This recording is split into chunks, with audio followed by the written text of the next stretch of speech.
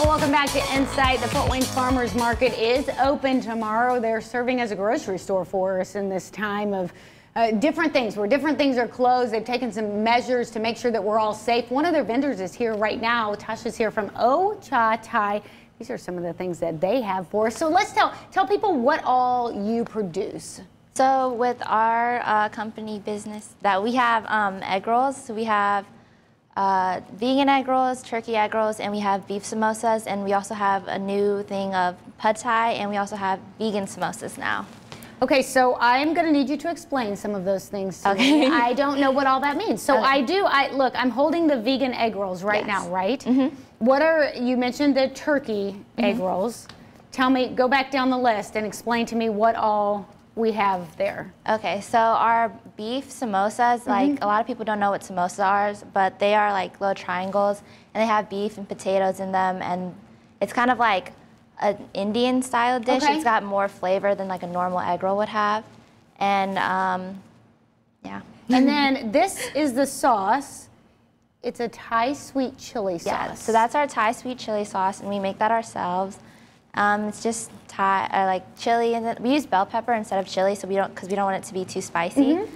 and it's it's really sweet. So I, I really want to try it. I will not bust it open right here in the studio and just stick my finger in it, which is what I'd like to do, so I could, you know, taste it. That would be rude of me. Um, and if these were warm, I totally would eat them right here, right now. But I will not because they're they have not been they're chilled. So uh, because we're under uh, operating under different terms than we normally operate the operate Fort Wayne's Farmers Market. Um, you're you're serving things a little differently, right? yes, so usually we have our egg rolls fresh and ready to eat at the market, but now since the since different circumstances, we're having them pre-fried so and frozen. So then now when people pick them up, they're already packaged. And they can just take them home and put them in the oven for whenever they want. Which is great though, because that means I could buy like several package of the packages of these, and then I could have them for dinner throughout the week. Yeah. About how long? I mean, if, could I take them home and put them back in the freezer or put them in the refrigerator? Yeah, you can put them back in the freezer and they should last about like a month, couple Oh, gosh. weeks. Yeah. So everything frozen just it lasts longer. So Tell me why, for you as a local business person, as a local producer, why is it so important for people to be supporting our local vendors right now? So right now is really an important time to support local vendors because we're not getting the same amount of business as we usually would. And now we still have all of the products and produce and everything that we would normally have mm-hmm. on a normal basis, but since now the like the demand is lower because less people want to go out, but we still have everything. So it's really important for everyone to support local and be able to like uplift our community. And we're going to talk to Bridget in a few minutes uh, exactly and talk about exactly how it's working at the farmers market. But you were there last Saturday. I was there last Saturday.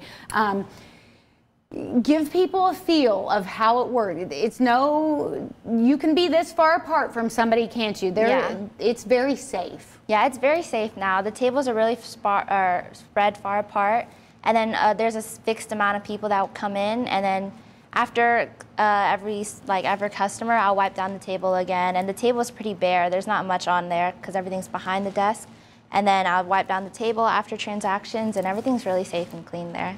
Now, if somebody's watching and they're like, oh, um, I'm not feeling well, which mm-hmm. if you are, we want you to stay in your home. We mm-hmm. don't want you to come out if you're not feeling well. Are there other ways they can support you? Do you have a Facebook page or a website or something we can go to if we still want to get these delicious egg rolls and sauce? So for sure, we have Instagram, we have our phone numbers and emails that you can come out and contact us. And then also on the farmers market, they have their website that you can find the list of all the vendors and be able to contact them through there. Um, pre-ordering is really a big thing right mm. now, so we know how much we can bring for you guys and we won't run out. So that's that's another way you can support. So we should go to your Instagram and pre-order now. That'd be a great thing to do. Mm-hmm. Yeah. I should have known she was on Instagram. she's young and hip. Of course she's on Instagram. Bridget gives me a really hard time because I have trouble with the Instagram. I'm working on it. I really am working on it. Well, you want to get to Fort Wayne's Farmers Market tomorrow and get your stuff from O Cha Thai because let me tell you, it looks delicious. We'll be right back.